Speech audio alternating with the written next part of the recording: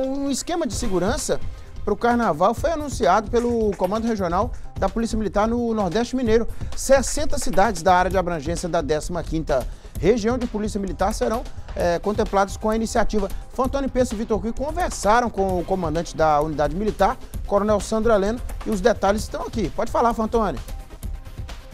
O Comando Regional da Polícia Militar de Teoflotone vai colocar o maior esquema de segurança disponível para que as pessoas tenham paz e tranquilidade durante o carnaval. Coronel de que forma o senhor planejou essa ação? Bem, a Operação Carnaval em todo o estado, e não vai ser diferente aqui no Nordeste de Minas, nós estaremos aí atuando firmes a partir de sexta, a partir de amanhã até quarta-feira de cinza.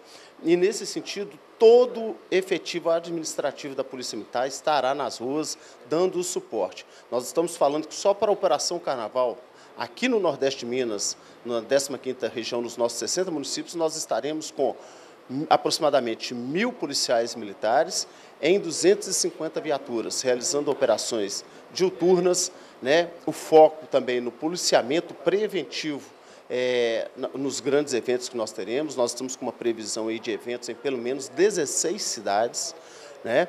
e aí nós estaremos muito firmes trabalhando com um público que está qualificado. Nós passamos por essas duas últimas semanas qualificando o nosso público, treinando os nossos policiais militares para abordagem ao cidadão, busca identificação, é, utilização de instrumentos de menor potencial ofensivo, inclusive um destaque, um realce, as nossas patrulhas de prevenção à violência doméstica estarão atuando firmemente no Carnaval, exatamente para a gente procurar prevenir a importunação sexual, enfim, crimes contra a dignidade, a dignidade da mulher, esse público muito especial para a gente.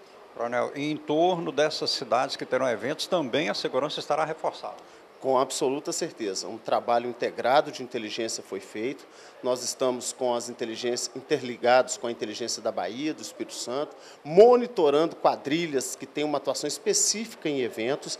E aí vai a dica para os foliões muito cuidado com o uso abusivo do, do, de álcool. Álcool e direção nós não precisamos dizer que não combina, então procurem é, o transporte público, é, estarem acompanhados. Outra coisa, evitar a exposição de dinheiro, de aparelhos celulares, joias nesses locais. Tem sim, nós temos sim uma preocupação com a atuação de, de ladrões e a qualquer movimento diferente, observando qualquer situação, usem o 181. Usem e abusem do 181, disque denúncia, o anonimato é assegurado e toda informação que chegar para nós será checada. A meta é ter um carnaval tranquilo. Se Deus quiser, né? Depois de é, dois, três anos aí é, sem carnaval, em virtude da pandemia. O objetivo da Polícia Militar, integrada com o sistema de segurança pública, os outros órgãos de segurança pública, e aí, inclusive, eu realço a atuação nossa com o meio ambiente, com a Polícia Rodoviária Estadual, inclusive,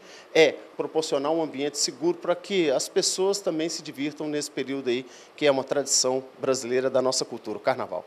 Eu agradecer ao Coronel Heleno. Bom, Nicomedes, então estão aí as recomendações do Comando Regional da Polícia Militar, responsável por 60 municípios do Nordeste Mineiro. Agora, falta só uma parte. E você, Folião, está se preparando, está se planejando?